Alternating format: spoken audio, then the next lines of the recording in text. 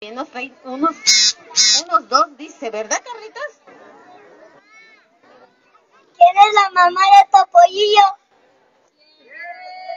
Topota Mare.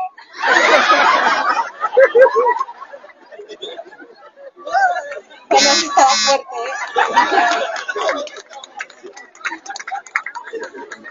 ¿Qué le dijo una uva verde a una morada?